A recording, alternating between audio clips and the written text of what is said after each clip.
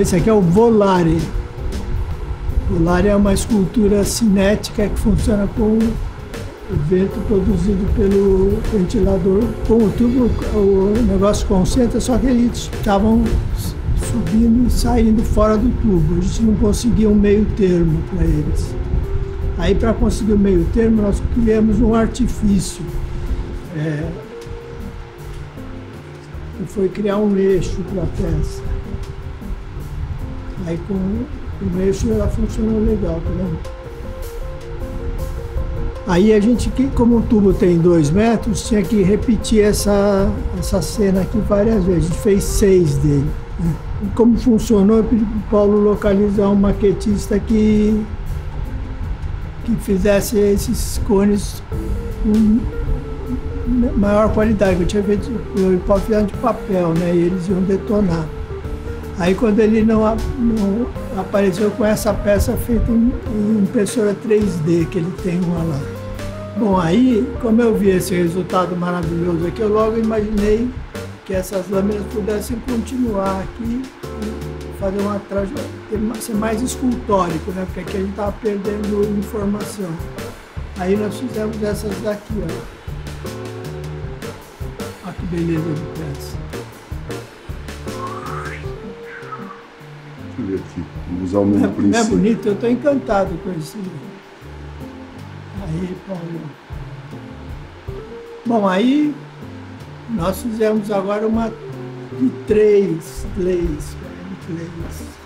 Essa aqui não voou ainda, não, sei se ela vai aprender. Olha que beleza. Foi uma peça bem mais escultórica, né?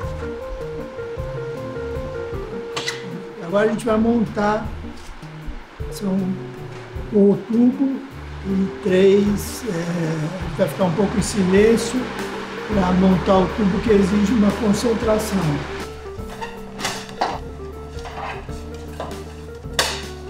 Peraí que eu tinha Depois eu vou pedir